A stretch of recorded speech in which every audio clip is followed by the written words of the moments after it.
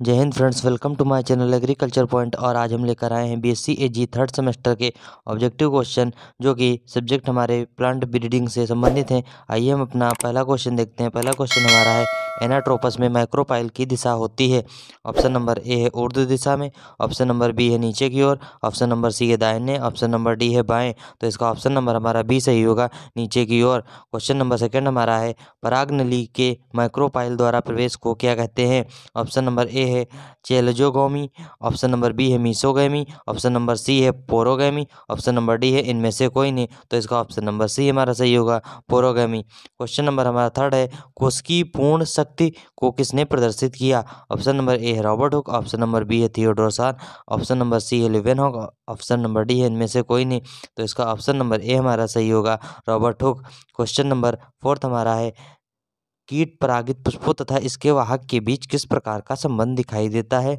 Option number A है सहोपकारिता option number B है सही जीवन ऑप्शन नंबर सी है सही विकास ऑप्शन नंबर डी है इनमें से कोई नहीं। तो इसका ऑप्शन नंबर ए हमारा सही हो जाएगा सहोपकारिता क्वेश्चन नंबर फिफ्थ है हमारा, किसी एकल संकर में जीनोटाइप का अनुपात होगा।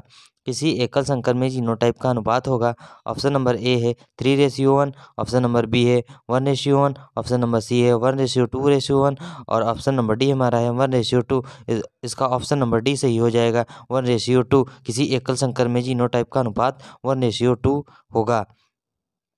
क्वेश्चन नंबर सिक्स हमारा है, अनुन्मील पुष्प निश्चित रूप से होते हैं। क्वेश्चन नंबर सिक्स हमारा है वेरी इंपॉर्टेंट क्वेश्चन अनुन्मील पुष्प निश्चित रूप से होते हैं।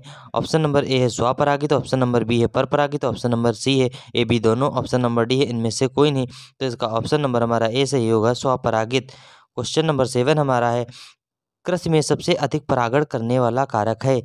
वेरी मोस्ट इंपॉर्टेंट क्वेश्चन किसमें सबसे अधिक परागण करने वाला कारक कौन सा है ऑप्शन नंबर ए है तितली ऑप्शन नंबर बी है कीट ऑप्शन नंबर सी है मधुमक्खी ऑप्शन नंबर डी है इनमें से कोई नहीं तो इसका ऑप्शन नंबर सी हमारा सही हो जाएगा मधुमक्खी क्वेश्चन नंबर एट हमारा है एक अर्धसूत्री कोशिका विभाजन में कितने नर युग्मक बनते हैं एक अर्धसूत्री कोशिका विभाजन में कितने नर युग्मक बनते हैं ऑप्शन नंबर ए है वन ऑप्शन नंबर बी है टू ऑप्शन नंबर सी है फोर ऑप्शन नंबर डी है थ्री तो इसका ऑप्शन नंबर हमारा सी सही होगा फोर एक अर्धसूत्री कोशिका विभाजन में कितने युग्मक बनते हैं? तो एक अर्धसूत्री कोशिका विभाजन में चार नर युग्मक बनते हैं। क्वेश्चन नंबर नाइन हमारा है, फागुनी पादप कल्चर किससे प्राप्त होता है? फागुनी पादप कल्चर से प्राप्त होता है। तो ऑप्शन नंबर ए, पत्तियों से, ऑप्शन नंबर बी, है जड़ से, ऑप्शन नंबर सी, है परागण से, ऑप्शन नंबर डी, है कलिका से। तो इसका ऑप्शन नंबर सी सही होगा, जाए हो जाएगा हमारा परागण से। क्वेश्चन नंबर टेन है हमारा। वनस्पति विज्ञान के जनक है। वेरी मोस्ट इंपॉर्टेंट क्वेश्चन वनस्पति विज्ञान के जनक हैं।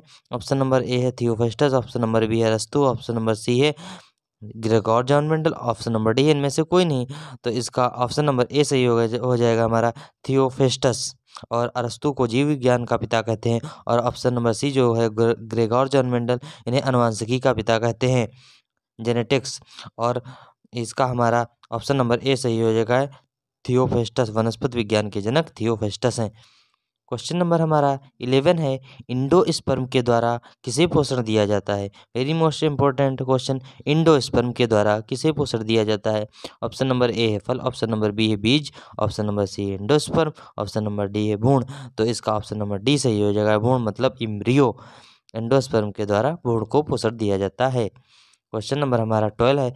अनावृत बीजी में निषेचन होता है। अनावृत बीजी में निषेचन होता है।